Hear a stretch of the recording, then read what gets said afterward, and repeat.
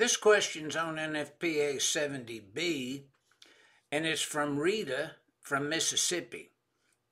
And Rita has a question. She says, uh, uh, I'm a maintenance electrician.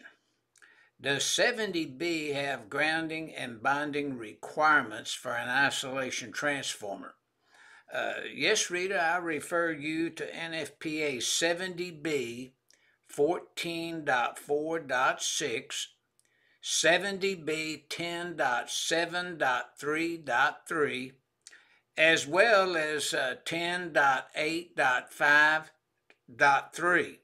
Now, these uh, sections will help you, and also, uh, uh, say, Chapter 7 of 70B, as well as Chapter 14, will give you a lot of help on uh, how 70B would require an isolation transformer to be maintained and so forth.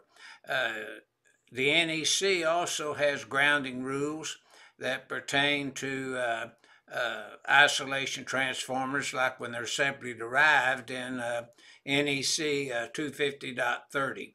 I hope this information and these sections will be an aid to you. Review them very carefully, and if you have any further questions, well, uh, please let us know. Thank you.